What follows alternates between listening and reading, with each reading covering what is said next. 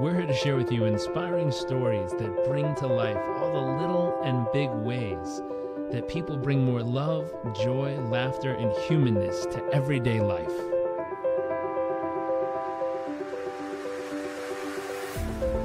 Our focus is the hunt for those little moments that refuel the human soul and reminds us what life is really all about. I invite you to sit back, enjoy the moments, enjoy the stories, the adventures, and the journeys.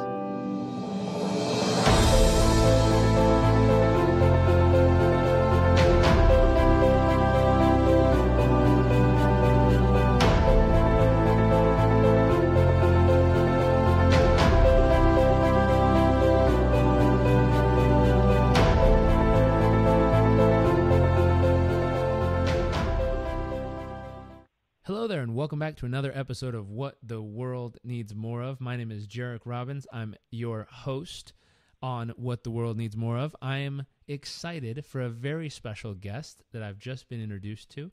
His name is Kirk. Kirk, thank you for joining us. You're very welcome, Jairek.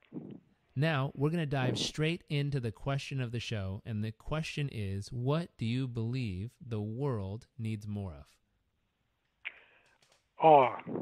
That's A W E. Um, I feel in my own life and in my own experience of, of life and of, of people, of relationships, of nature, that uh, the sense of awe toward living is something that is desperately needed uh, and certainly was very, very important. It was key to, to my own uh, ability to uh, not just get by, but to, to thrive. And by awe, I mean uh, the humility and wonder or sense of adventure toward living. If you think about what it means to be on an adventure, uh, whether it's you know through the woods or through some uh, cityscape, let's say, and it conjures up. Often it conjures up a great sense of discovery of, of the unknown.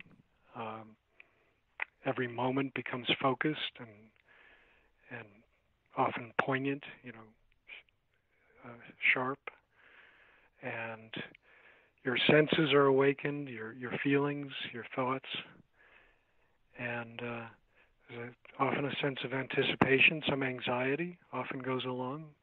Thrill and anxiety often go along together but it's very powerful, very powerful to have that openness to what's unfolding before you. I, I, I love that, and I agree with that. I think it's something to have that awe-inspiring feeling, that deep wonder, and like you said, the deep wonder and humility and a sense of adventure in just daily living. It's a very, very special place to come to. Um, yes. I, I, I'm I'd hope that some people maybe naturally arrive there early and quickly. Uh, but I think for some of yeah. us, it, it takes experiences to actually lead us to that realization of how special it is when we finally discover that moment and that feeling. That, yes, or, or it's a rediscovery because I think we uh-huh. often feel it as kids, mm-hmm. but then it gets, it gets tamped down by conditioning and rules and regulations and fears that adults often pass on to us, but are also that are that are natural as a part of living, or certainly uh, traumas can can uh, you know suppress that ability to feel free like that to to wonder and to uh, be in a kind of discovery mode. Mm-hmm. Um, but actually, I think the greatest threat today is uh, what I'd call the, the machine model for living. Mm. This is what I really elaborate on in my uh, new book, uh, The Spirituality of Awe Challenges to the Ro- Robotic Revolution. Um, the machine model for living or the efficiency model for living.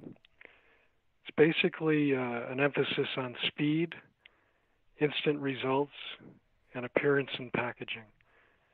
It seems like we're moving more and more toward a world where um, the the quick fix is just uh, pervasive. it's it's true in in my field of psychology.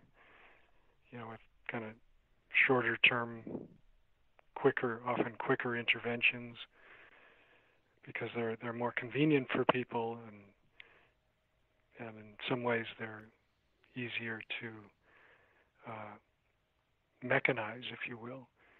We have, uh, for example, apps for anxiety and depression.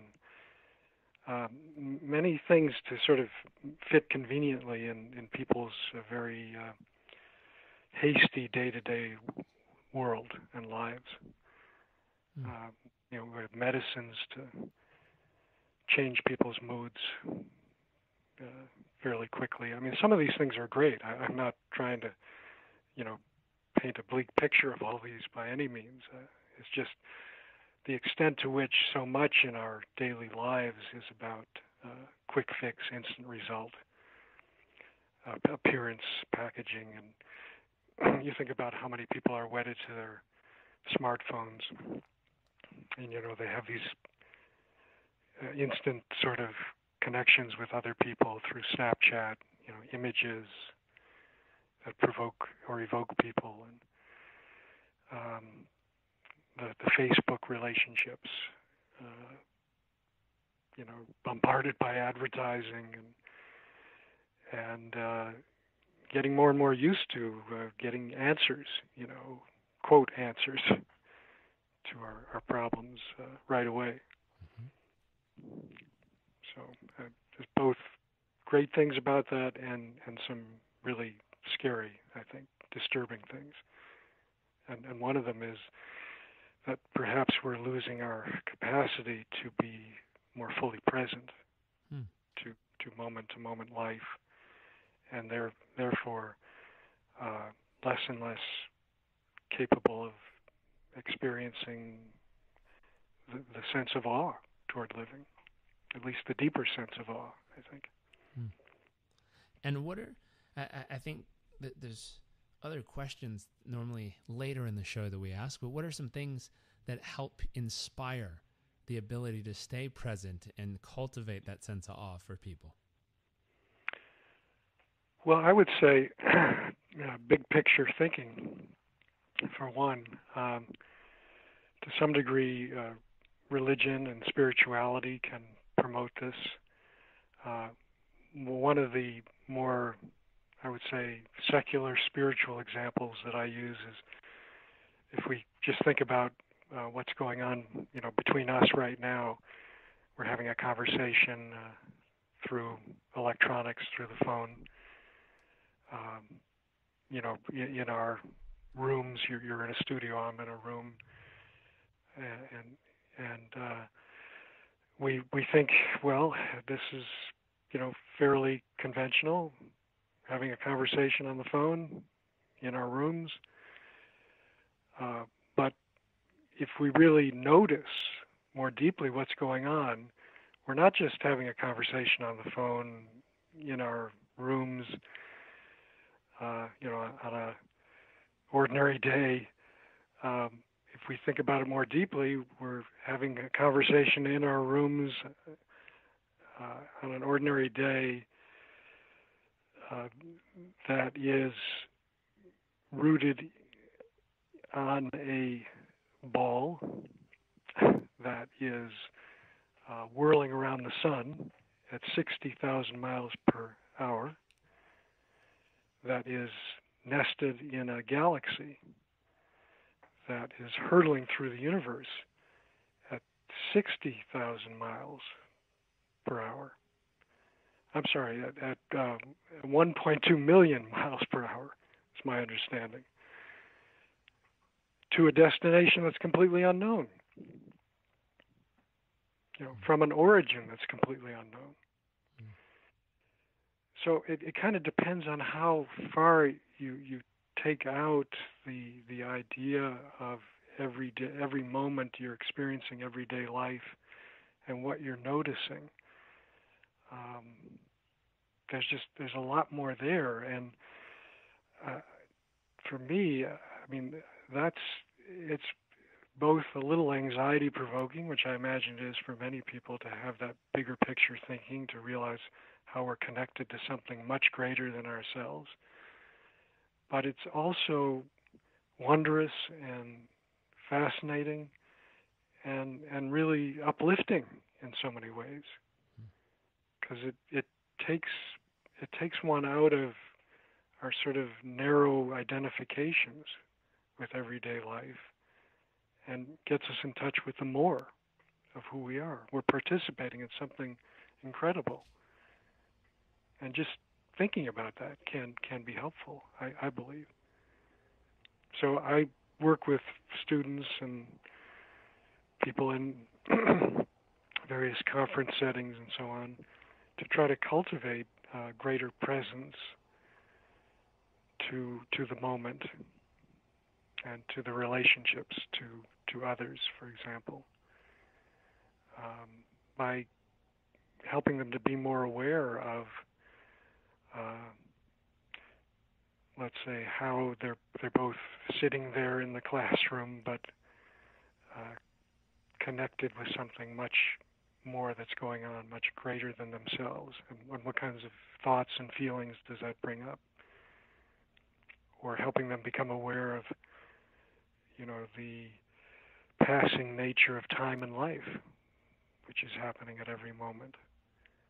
Um, if if you realize that, it can also really focus your your energy, your mind on the uh, the details, the subtleties,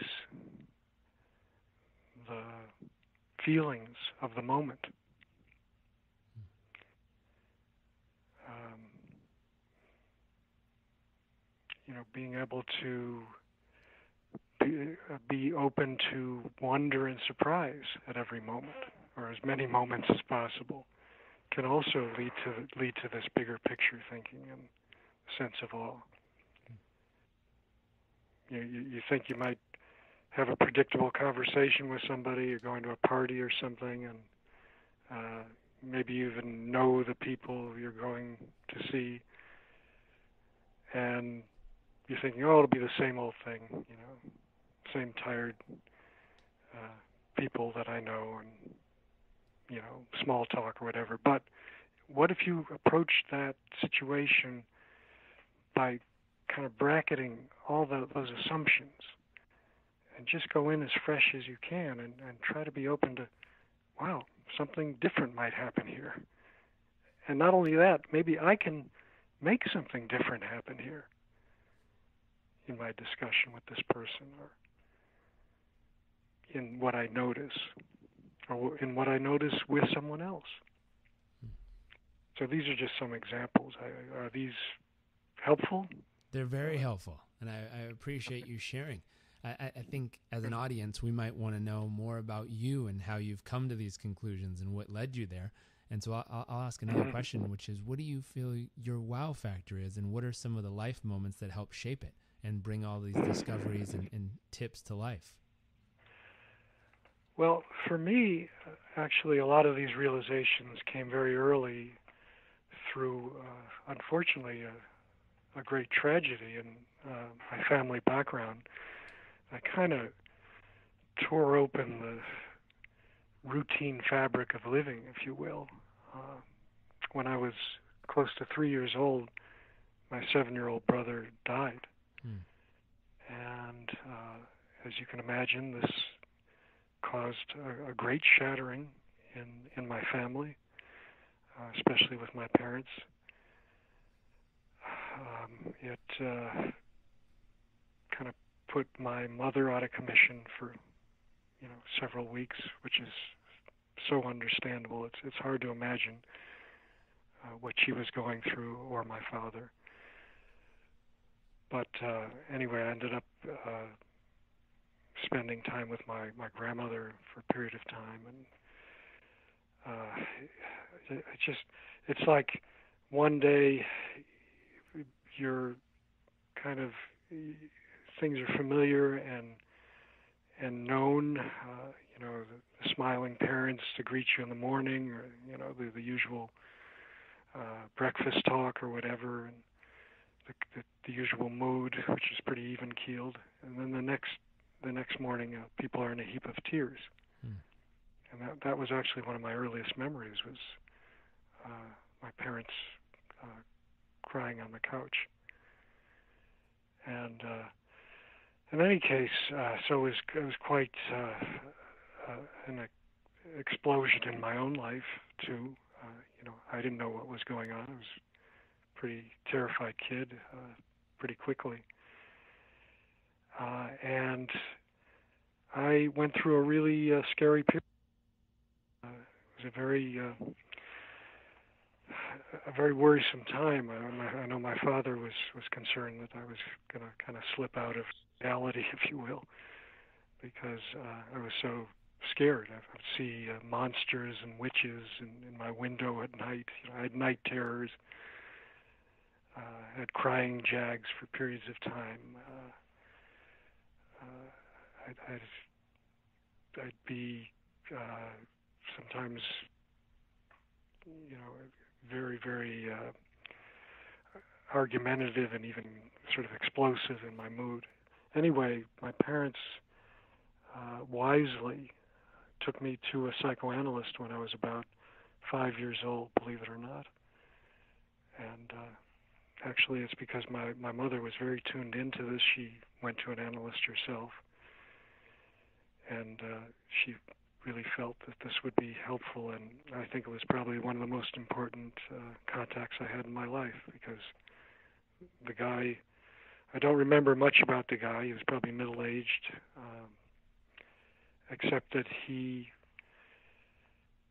he was rock solid.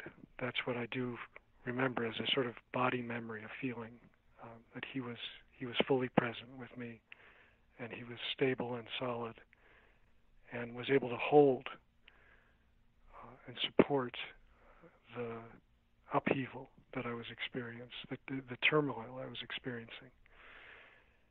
And I think this was extremely important, this, this uh, ability to be contained and to learn what containment means, something about that, even at such a young age. And so I, I moved very gradually uh, from a, a place of abject terror and paralysis, and fearful of so many things, including germs and so on, uh, to gradual intrigue about the world and what had sort of ripped open, and about life and, and death, even, and uh, the unknown, uh, and and eventually to a kind of uh, wonder and even fascination with this trip we're on. You know, um, I developed an inner freedom, I guess you could put it that way whereas before it was really clamped down and, and terrified. And you know how we get in our bodies like that when we, we, we get constricted, when we're afraid. So I was gradually able, able to open up, and it, it, like a movement from terror to, to very incremental wonder. And this, after a period of time, led to an ability to well, an interest in, I would say, uh, in in discovery. And one of the main ways that uh, this manifested was through my interest in science fiction as a kid. And I was growing up. When I was growing up, uh, this was in the early '60s. I'm 62 now. Um, we had great uh, science fiction shows. You, you may have heard of you know the Twilight Zone and outer limits and these one step beyond. Mm-hmm. Uh, I really related to these shows because they spoke to me. The, the, I'm sure part of it was the, the scariness of the shows, but but also the wonder. And uh, one of the sort of uh, prototype typical scenes for me was in uh, one of the really early Outer Limits shows that I think uh, is very uh, good as a metaphor for what I'm describing. And it was about a, a monster, an electrified monster that invaded a radio station that was run by uh, Cliff Robertson, famous actor at the time, and um, it it like sucked up energy from the radio tower, and, beca- and it grew, became bigger and more powerful, and it kind of it broke out of the radio station, and it started to uh, rampage, you know, through the the town, through the streets, and um, like many B movies, you know, it had the classic uh, ending where uh, the townspeople all gathered in the center of the town, and the, the military was called out, and they, they had their guns poised, you know, to to take this thing down. And so this electrified monster, you know, 60 feet tall, finally gets to the center of the town where all these people are, and it looks down at them and, and says, Put down your guns, go home, and contemplate the mysteries of the universe. and that was that was the end of the show. I mean, it's incredible. Uh, th- th- that's an exact quote. I'm, I'm positive.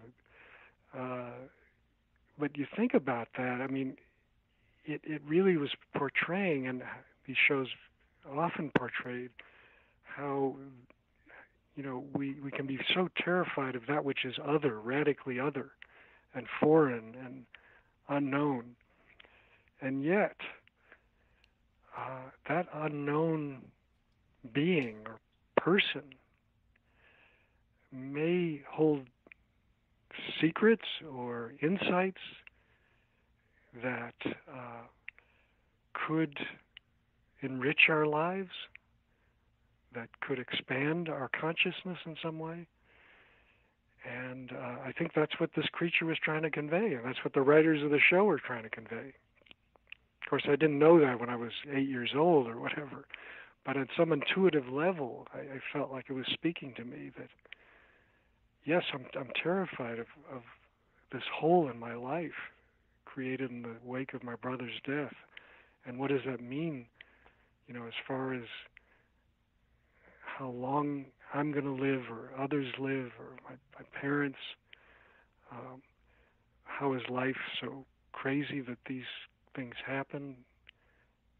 What does it what does it mean to be lost in life?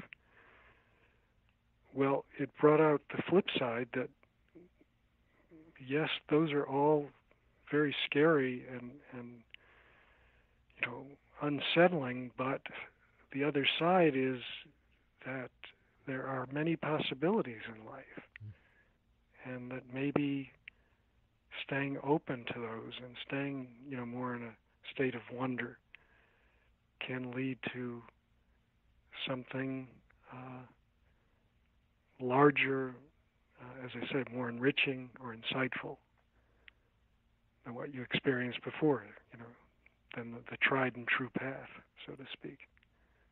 It's true. And when you're in those moments, and it, it, it, could be easy to shut down, to stop wondering, to get caught up in that machine living. What, yes. are, what are some tips that can help you you stay open? I, you said thinking, yeah. you know, big picture thinking, being open to an experience of awe. But if mm-hmm. something happens that would normally shut a human down, is it right. is it just that big thinking and just being open to it that'll bring you back out, or are there, are there other things someone can do to also cultivate that state? Well, it depends really on how shaken somebody is. I mean, mm. obviously, if somebody is has just experienced a traumatic event or something very jarring, it's hard to be, you know, instantly open to life. Um, uh, people are, are, very fragile at that point. So uh, often, I would say some very uh, grounded, uh, concrete intervention could be helpful, like maybe just helping a person to collect their breath, you know, or uh, have a good meal or uh, have somebody supportive to be with them. Uh,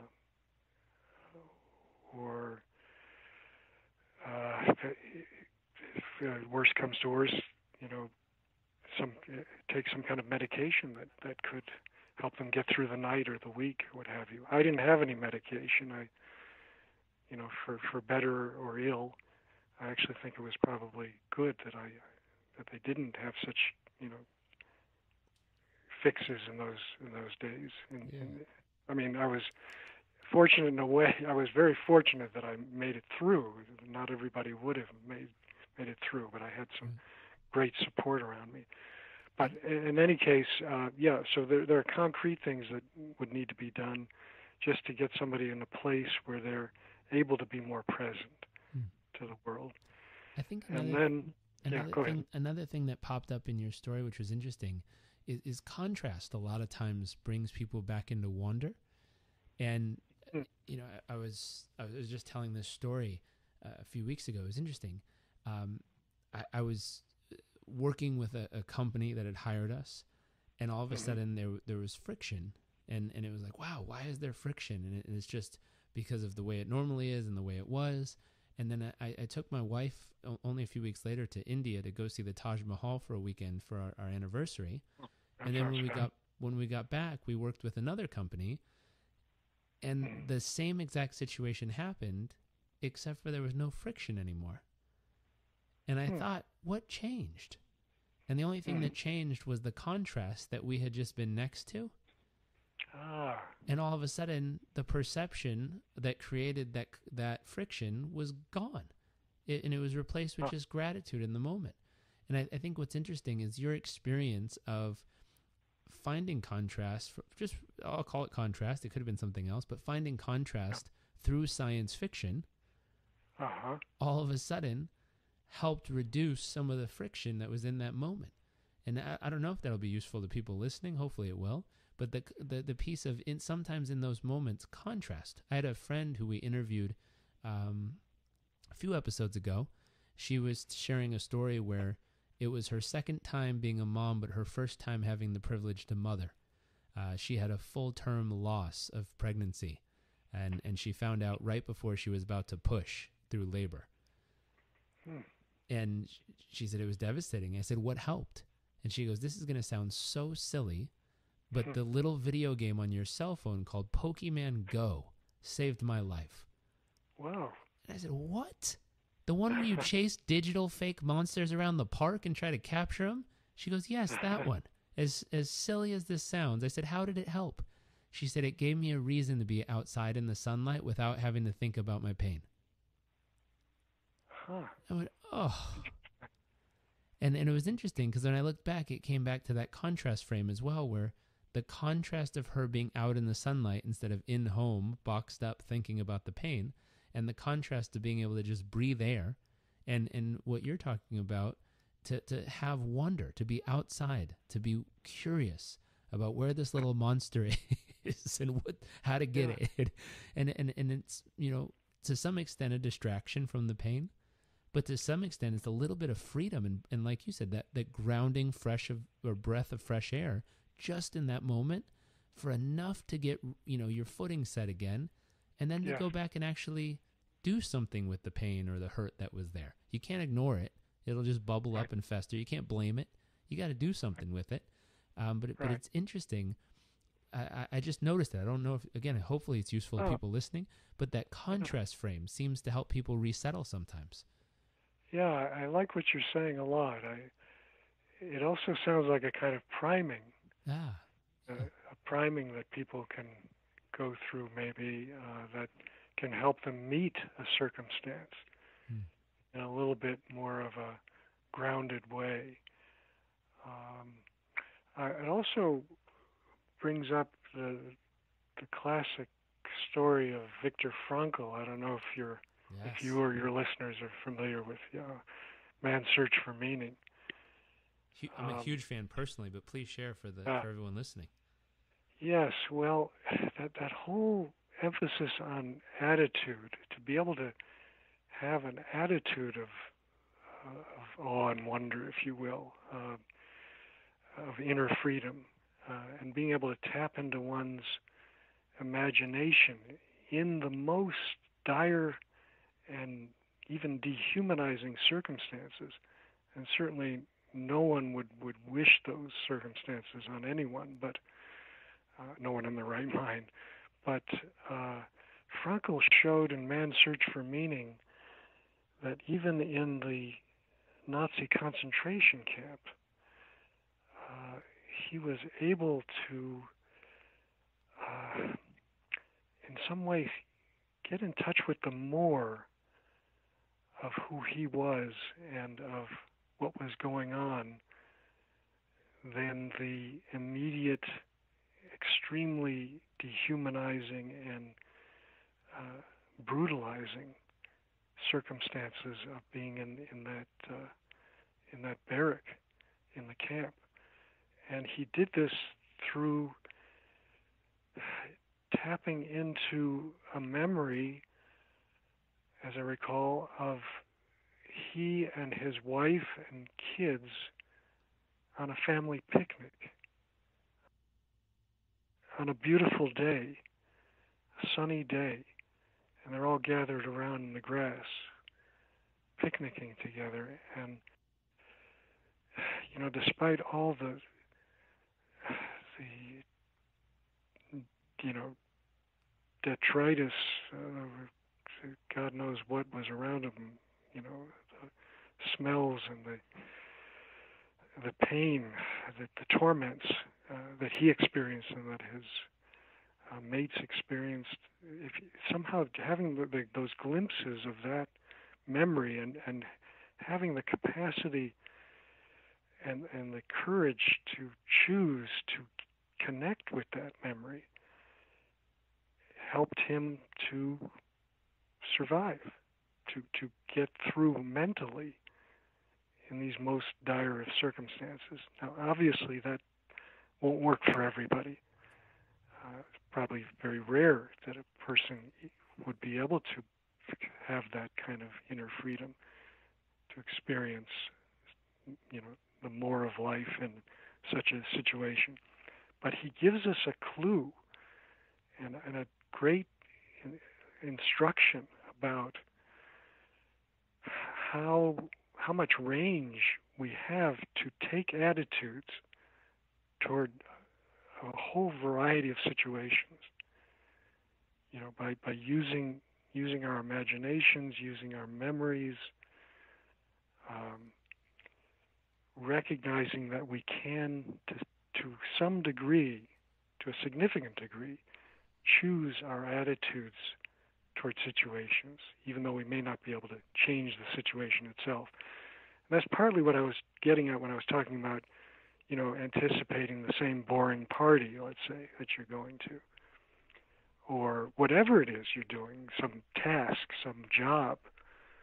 Uh, you know, we, we tend to lock in to certain assumptions about what we're about to experience instead of really trying to stay as open as possible to something different that might happen and something different that we could even bring to that circumstance.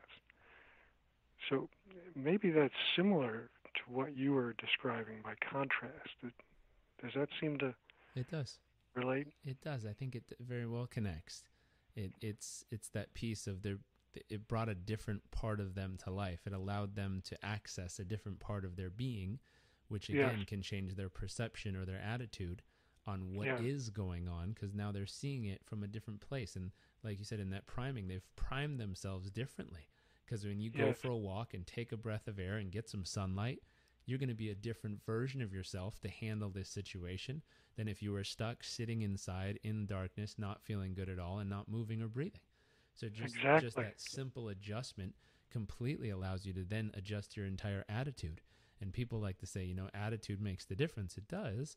And the way you treat the human body can adjust your attitude. If, if, if you're not getting good sleep, you're not eating food, you're not moving or breathing, um, it's it it becomes more and more difficult to actually have a good attitude.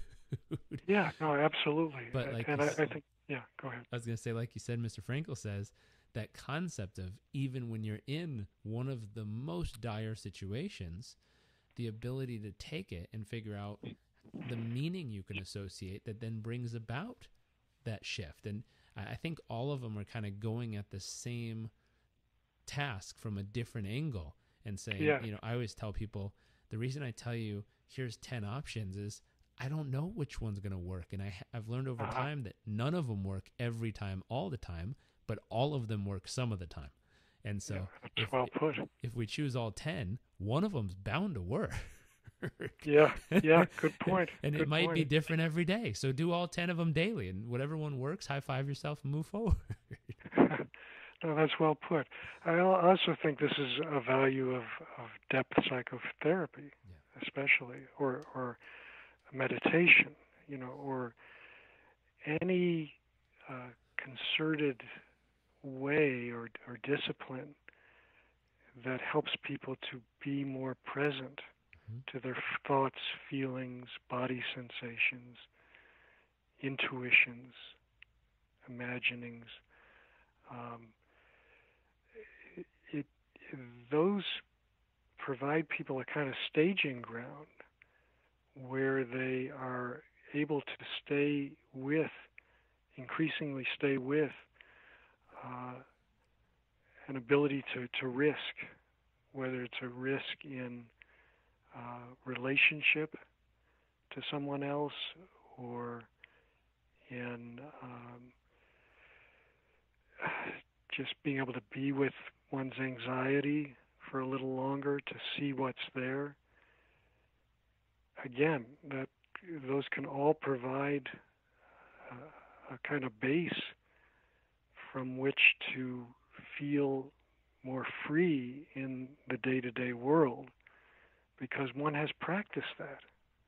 I often tell students that in many ways depth psychotherapy is a staging ground for the sense of awe because one has become acutely familiar with being humbled to the max, you know, crushed, uh, because that's what you are supported to stay with and work with those scariest moments and parts of oneself, or, or the or the most uh, painful parts of oneself, but also at the same time supported to the max to take risks, to uh, let's say um, use one's imagination or uh, express oneself to another person, let's say the therapist, or if one is feeling sadness, maybe to notice and to be more sensitive a- about the world and, and to feel uh, very warm feelings and caring feelings as well as these hurtful or sorrowful feelings. Or if one is angry, uh, it could also help one to experience a sense of standing up in the world and asserting oneself. Um, the, the point being that all these difficult feelings have flip sides and can often lead to uh, an experience of the wider range, you know, of who we are and an ability to uh, to stay with the wider range of who we are Hmm. day to day, so that Like we can that. live more fully, basically. I like that. Speaking, circling back to you, what's a moment that made you feel incredibly humble over the years? Well, I mean, the first that comes to mind is that death, but uh, certainly a recognition of the power of my subconscious mind. Um, I, I had later occasions to experience some pretty uh, anxious moments uh, later on in graduate school, uh, being a psychologist, being challenged to work with, uh, you know, very extreme people uh, in places like, uh, you know, psychiatric emergency centers and state hospitals and places like that. Mhm. It got me in touch with some of my own fears that still had not been worked through, and so uh, I, I had some some very tough uh, times. Uh, just well, being opened to like too much possibility and uh, too much of imagination. So uh, it it gave me, I think, a very healthy appreciation for the power of consciousness. Hmm. And I say healthy because I, I did eventually learn to stay with a lot of those anxious feelings and work through them with some very good therapeutic support and support through my studies and colleagues and so on. Uh, but uh, I also realize that these things are not easy often, and that, and that they do take some time, and that they take practice. And it's it's helpful to have some kind of practice or discipline to build up. It's like building up muscles, you know, to build up the the strength, the capacity to uh, again be in touch with uh, the wider ranges uh, of one's thoughts, feelings, sensations, imaginings. Uh, and I'm also uh, certainly been humbled being a, a father and a husband, and um, it's it's helped to open me up to you know feelings I, I would not have otherwise had Mhm. uh, being in, in such in you know intimate relationships. That's true. That's I, true. I mean, there's yeah, Here's a question. certainly. Yeah, go ahead. I think it'll fit well with the topic. What's been your most awe-inspiring moment? Yeah, that's that's a great question. Uh, I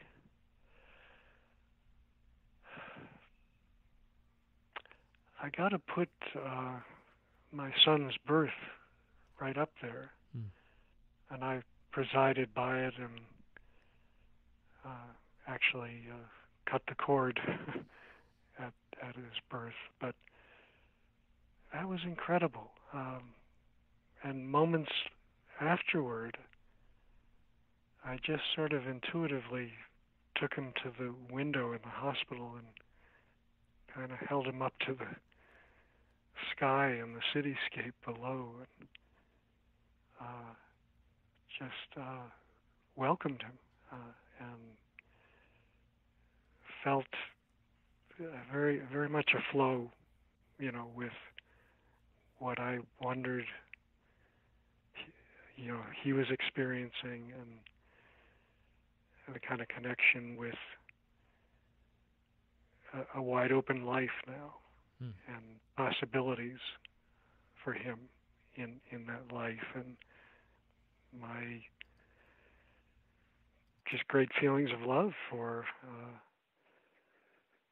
what I and we could do to uh, you know bring this life into its its fullest uh, realization. Uh, certainly, that is great awe. I, I experience a great sense of awe, certainly in love love relationship with with my wife. Uh, with moments. I mean, I remember the moment where I fell in love with her. I, I don't have to go into detail, but that certainly was an awe-inspiring moment. Uh, Mm-hmm. That just had to do with, at that moment, a, a glance at her sitting in a in a chair in in uh, Martha's Vineyard, believe it or not, uh, in, in a bed and breakfast place. Uh, some of it's mysterious, you know. It's but uh, that was awesome because it's like I shifted from really liking her and we we were close to to this cosmic leap into something that has continued to last now for 35 years. Wow. Uh, Uh, Very special. the ocean. The ocean is another place where I feel that sense of awe. And being connected with my friend or, you know, my son when we're enjoying, we're playing in the ocean and, you know, whether it's boogie boarding or body surfing or what have you. Hmm. Traveling too, I definitely feel it. And in my field, you know, some wonderful, I've had the privilege to be at some wonderful venues and conferences and presentations and experience the audience in, in those deeply resonant ways where we're feeling a flow or a connection. Hmm. It's, uh, nice. I guess, I guess it's sort of big things or somehow can, can be small moments, but they're connected to something much bigger. Hmm. That, that's when I often experience that sense of awe, Very when I can open to that. Very nice. What about your greatest fear? You know, I. This may sound strange after all that I've told you, but probably the the the unknown. um, I would I would say infinity, really. I mean, if you want to kind of bring it down to brass tacks, I, uh, the the notion of something that's endless and has no boundary, whatever, uh, as radically, radically unknown and mysterious is both fascinating and terrifying to me at, Mhm. at the same time. Uh, probably to many people. I, I agree. I think it's part of what makes it so fascinating is that element of the edge that exists with it, of the unknown, the part that lights us up, that allows our imagination, the faith, and the fear to both wander in all directions, to, to really just not know. Um, it's a space. Well, yeah, It's a space I found a lot of people aren't quite comfortable in that space. There's some that thrive in it, but, Yes. but many people shy away from it. that's right. And I think they end up missing out a, a lot of, you know, the the ex- excitement of living. Mhm. But it's uh, but it's understandable. Um, I mean, it's it's such such an ironic thing that you know that which is that which is without boundary, is uncontained, is also the place where we're freest. That's right. you know, yeah. That's right. What and about I, I guess I feel like we we all exist on a spectrum of being able to deal with that. That's true. That's true. I, I think what's interesting is in some categories of people's lives, they're radically comfortable with it. But then you Mhm. switch categories and they're a risk taker and an adventure seeker and they find Right. peace in the unknown. But then you switch Yeah. categories to their life and oh boy, they're addicted to certainty. Yes, that is so true. That is so true, and It's a- I, I think that's really that shows up with like clay-footed gurus sometimes, ah, yep. or you know, teachers that they're great in certain areas and they they're so freeing and and so inspiring, but then you put them in certain other circumstances and it's like, oh boy, I noticed they're I noticed this concept. I noticed this concept in myself. There was a, a book written recently by a lady at uh, Stanford, I believe, Carol Dweck. She wrote about mindset, the fixed mindset or the growth mindset. And when I took the quiz the first time, I was thinking about the way I approach travel and love and relationships, and I was like, "Oh, I'm totally growth mindset." And then when I I sat down and analyzed different parts of my life, and when I got to business, I noticed my brain would do many things that qualified for the fixed mindset list. And I was like, well, hey, that's not that's not going to be useful in the long run. And so I remember having to think through and work through, well, how do I transition this one category of my life over to the growth mindset? Cuz Yes. overall, you know, if I give myself a whole human rating, I'm probably 80% growth mindset, but I Uh-huh. found those little 20% of myself that's like, uh, uh, uh, not today. Yeah, yeah, yeah. and I had to do yeah. the work and nudge it over. Yep, yep. No, that's well, that's key. I mean, I think being uh, present or noticing, Mm. trying to to to really notice what's operating, Mhm. and when when those places come up, those narrow places, Mhm. and yeah, that's really humbling. You're right, and uh, yeah, I sure get hit with that in certain areas. They- Definitely, They sneak up on you. they do, they do.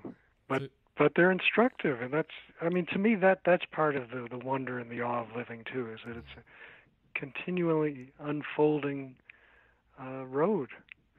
Um, I mean, would we want to have it any other way? Otherwise, in in a sense, it would be closed off. You know, you'd reach the end and we'd have it awe set and settled. And where's the adventure That's right. from there? Where's the discovery, the vulnerability? It seems like you need vulnerability to to be uh, to follow the all path in a way.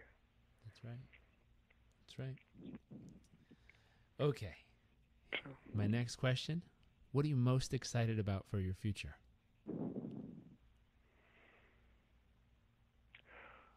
Well, hopefully having my health for one thing. As, as you get older, that does uh, become more than just a kind of tired adage. but uh, yeah, I I'm excited about what fields I'll be exploring next, uh, Hmm. and that has something to do with writing. I'm still exploring this sense of awe. I find it so enriching, and I uh, I've- I've been applying it to uh, sort of cultural and political situations more and more, and how it could help me and us as a society to uh, relate in a more humane way Hmm. with each other. And that's a lot of my concern.